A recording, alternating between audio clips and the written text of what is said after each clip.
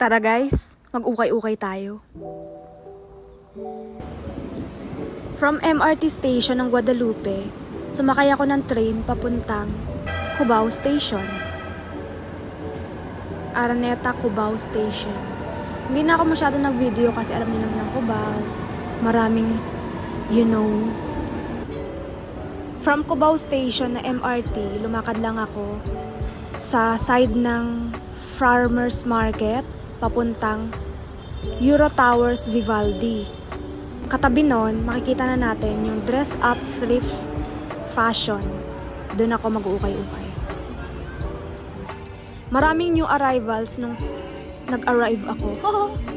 Tapos, ang daming variations, ang daming bagay, ang daming, ang dami ko nakikita, nakakalula. Alam niyo yung feeling na yun.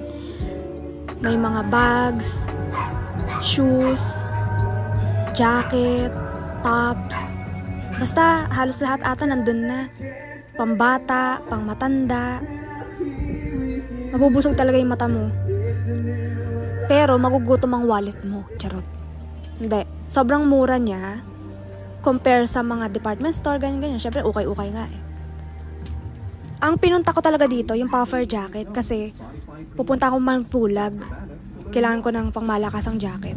New arrival yung mga puffer jacket nila, so medyo maharlika.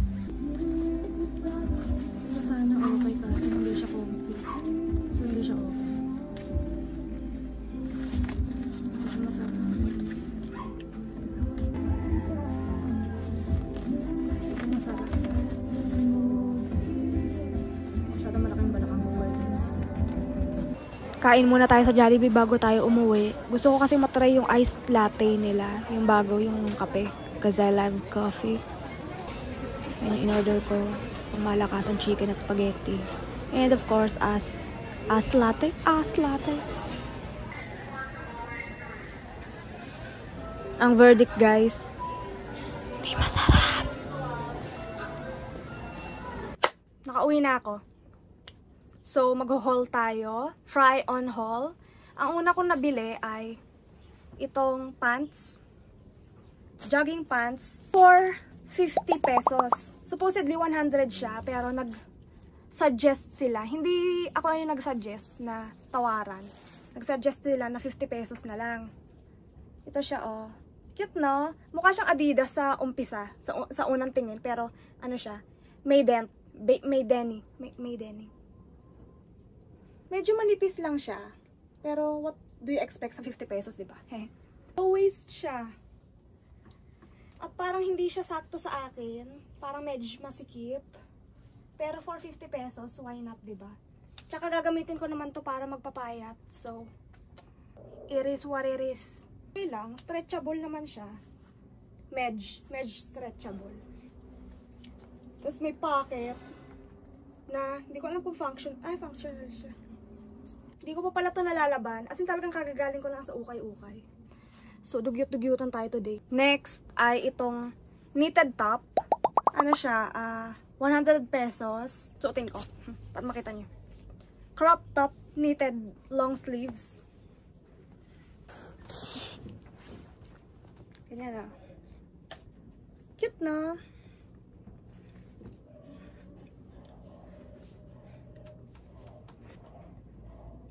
Lang. Gusto ko sana medyo mas mababa pa para kita yung tattoo ko dito sa likod. Pero, wala ko. Next kong nabili ay yung pinunta ko sa Cubao. Ang reason kung bakit ako nag-ukay-ukay.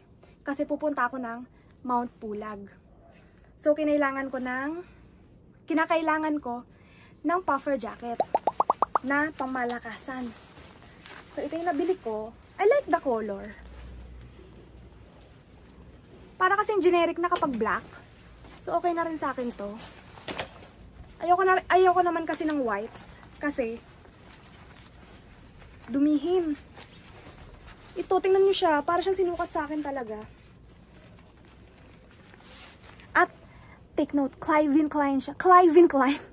Calvin Klein. Nagpapawisan ako guys. Ang init. Umaabot siya hanggang leeg.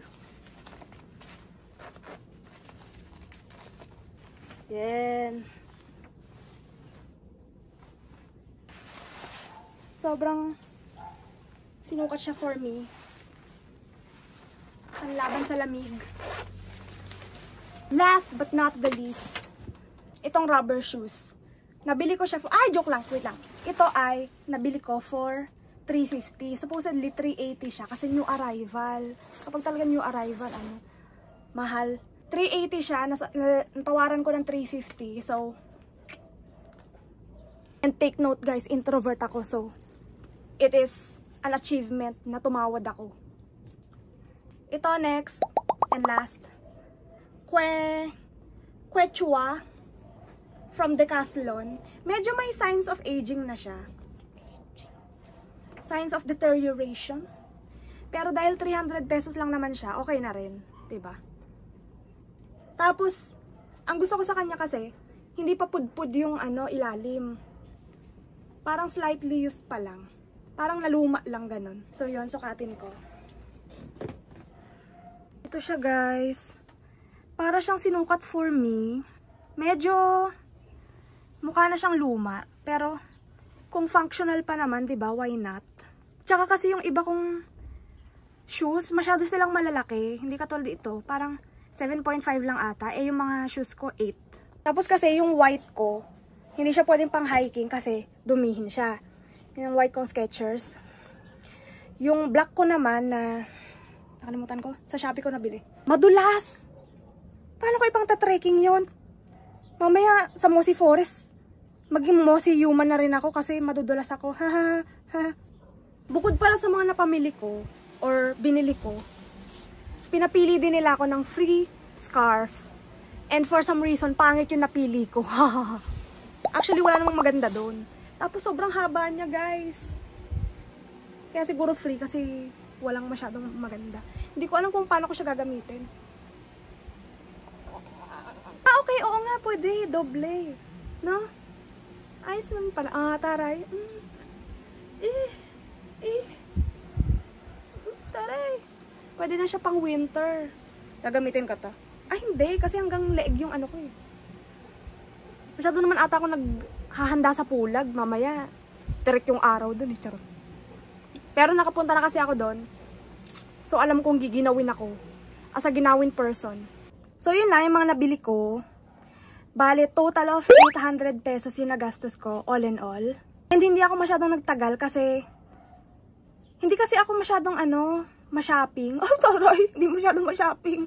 Hindi, hindi, mas gusto ko online shopping kasi hindi ako nakiki-interact ng tao. Pero mas gusto ko mag-ukay-ukay kesa yung department store. Kasi syempre, mas marami kang mabibili sa ukay-ukay kesa sa department store sa halagang 1,000 pesos. Yung 1,000 pesos ko nga, di ba may sukli pa, nakapag Jollibee pa ako. And ayoko kasi bumibili ng mga hindi ko kailangan. Charot. Coming from me. Pumunta ako doon knowing na ito yung mga bibilin ko, ito lang yung kailangan kong bilhin. So, yun yung hinanap ko. Hindi na ako bumili ng dress. Kahit I love dresses. Kasi punong-puno na ng dress ang kwarto ko. At cabinet ko. Anyway, thank you so much for watching. Kung may questions kayo, feel free to ask sa comment section. Try kong sagutin lahat. Kung meron kayong tanong sa pagmumukha ko, kung ano yung ginagamit ko, Lux Organics. Pero hindi pa siya umi-epekto. Mga 2 months pa. So, 2 months later pa ako makakapag-vlog about that. Alam ko naman tungkol sa skincare na may tatanong nyo sa akin. Ganyan kayo eh. Anyway, I love you guys.